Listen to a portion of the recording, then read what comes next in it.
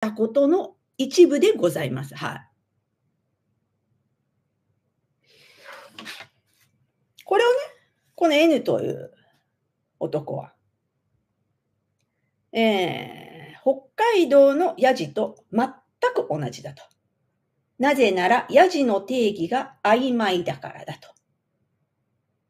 だから警察は警告を出したり、ガサ入れするぐらいしかできないと言ってるんですね。ああそうですかと。なるほどねと。これが合法だと。はい、違法なわけがないと。はい、言ってるわけですね。はい、えー、で、続けるというわけでしょ。えー、で、この人ね、あの、ボスがね、あの、K っていう人でしょ。で、これからもね、あの、何、逮捕されても続けるって言ってるわけでしょ。えー、ですから、これからも続けるってことですよ。あえー、じゃあ、あの、やってごらんなさいと。えー、やるがいいですよと。はい。あなたがね、やったことね、はっきり言ってね、これね、あのね、地位的な暴力です。はい。合法だと思うなら、違法だと思わないなら、これが正義の正しい行いだと思うなら、やり続けるがいいですよ。はい。あんたはね、そうね、幼稚園生みたいな。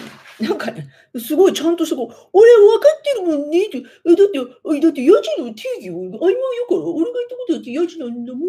え、人確認されるから、俺ヤジこれ、これだって合法だもんねって。違法なわけない。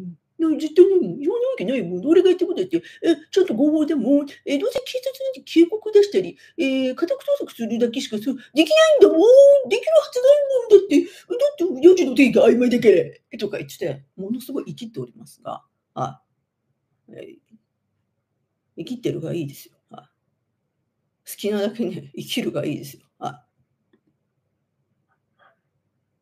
生きて、どうやってるがいいですよ。はいで、この活動もね、あの、続ければいいですよ。はい。まあまあまあまあ。私はね、まあ、このままじゃ済ませないっすよ。当たり前じゃないですか。そんなんがね、許されていいと思いますか、皆さん。これ昨日も言ったけどね、これ私だけのね、戦いじゃないっすよ。私とね、人間が、別に人間でもいいですよ。あるいは女でもいいですよ。こう知らん男からね、警察署の前で、覚醒器使って、こんな大声で、こんなね、恥ずかしめを受けるような、こういう日本であっていいと思ってるんですか、みんな。思いますか、本当に。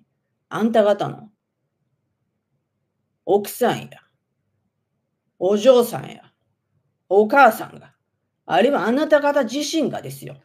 警察署の前で、覚醒器使って、こんな恥ずかしめ、受けていいと思ってるんですかって話ですよ。それはね、いいと思う連中がいたらね、そんな人はね、日本人じゃないですよ。私は日本人の多くが、私が受けたこの恥ずかしめ、許さないというふうにね、思うと、そう確信しております。ですから私は、戦いますよ、この連中と。はい。どうやって戦うか？それはね、まだ言わないですよ。でも私にだってね、考えはあります。はい。この連中をね、いつまではね、のさばらせておくわけにはね、いかないんですよ。それはね、自分のためだけじゃないんですよ。私の子供のためでもあるんですが、うちにも娘がいるんですよ。娘がこういう連中に同じ目に合わされていいはずがないんですよ。そんな未来を作っちゃいけないんですよ。ですから、これはね、日本のための戦いですよ。日本の未来のための戦いですよ。こんな連中のさばらせておくようなね、そんな日本でいいわけないじゃないですか。これ政治以前の問題ですよ。はい、政治家はね、ごちゃごちゃ言ってますよ。そしてメディアではね、またおかしな連中がね、何ですか？えー、菊間、菊間なんとかとかいうね、あの、ね、女の弁護士がね、あの、この唾の連中のね、言ってることね、お気持ちがわかるみたいなこと言ってるわけ。どっかのテレビで言っておるわけですよ。はああんた、菊間っちゅう人ね、私何歳か知んないけどね、えー、菊間、菊間って人何歳ですか？私今調べますよ。菊間っちゅう人はね、1972年生まれのね、52歳ですよ。はい。菊間、なんていうの、この人。菊間雪の菊間雪のですよ。皆さん。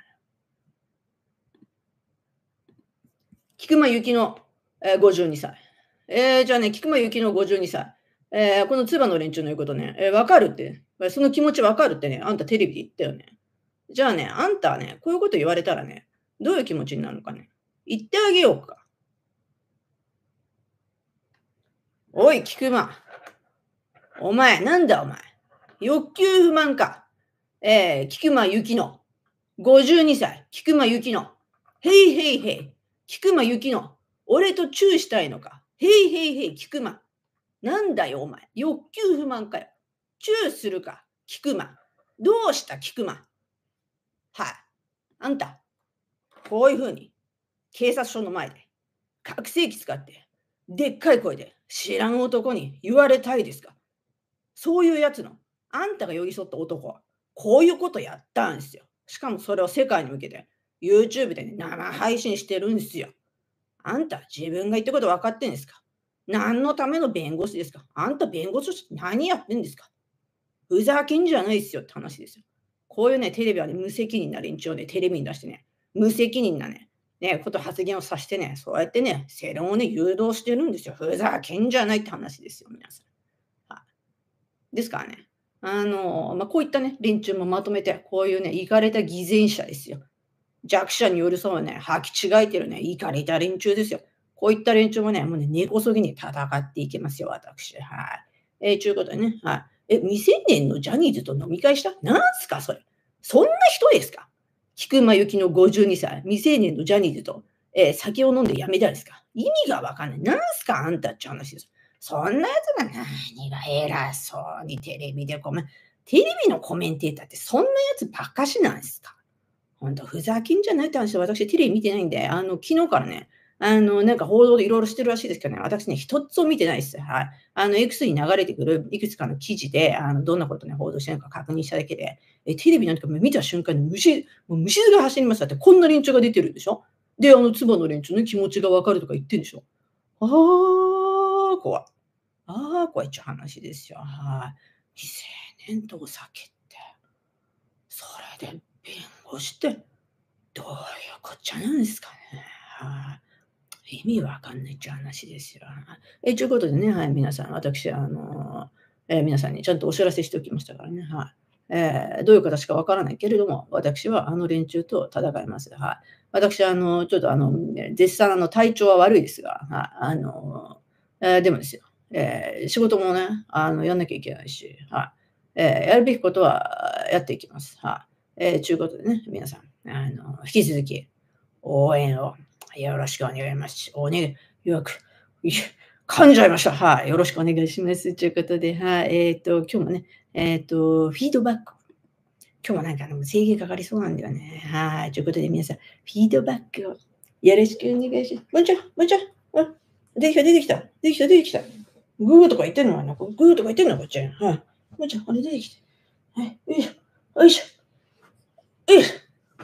で私は、まあ、ボンちゃんがいるからね、あの、まあ、えー、どうにかやっていけてるようなものですよ。はい、ボンちゃん。ボンちゃん、いつもありがとうね。ボンちゃん、いつもありがとうね。えー、いかだね、いかだね。え、ということで、はいはいはい。あ皆さんにはあんまり関係なかったですね。はい。えでもやっぱり、あの、え家族っていうのはいいものですね。はい。えー、みんな、あの、家族を守りましょう。あの、家族をね、あの、お母さん、お母さん、お父さんとかの、あ、そういえば、あの、泉健太とかいう人ね、あの人ね、お母さんって言っちゃいけない。親一親にとか、いいとか言ってたくせに、あの人、今日は母の日ですとか言って、X にポストしとったでしょ。ふざけんじゃないよ、あんたっていうふうに思いましたね。こうい連中ですよ。これがリベラルですよ。言ってることやってることしっちゃかめっちゃい。しゃかめっちゃかでしょ。はい。皆さん騙されちゃいけないですよ。はい。えー、リベラルの正体見たり、泉健太。はい。ジャマでございました。はい。ということで、はい。えー、皆さん今日もフィードバックよろしくお願いします。じゃあ、またね